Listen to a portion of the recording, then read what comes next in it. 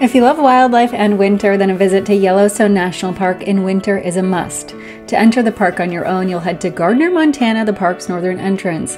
You can drive yourself if you're good on snow, or hire a wildlife guide to take you out to see wolves, bison, antelope, and even moose enjoying the winter landscapes and fewer people in the Lamar Valley, which is one of the premier places to see wildlife in Yellowstone. You can hit the trails on some snowshoes or cross country skis and visit the ice covered Mammoth Hot Springs. For snowmobiling, the eastern town of Cooke City is great and even offers some great winter dining. The park's southern entrance near Jackson Hole is closed to vehicles in the winter, but you can book snowmobile and bus tours to see Old Faithful and the brightly colored and snow wrapped Grand Prismatic.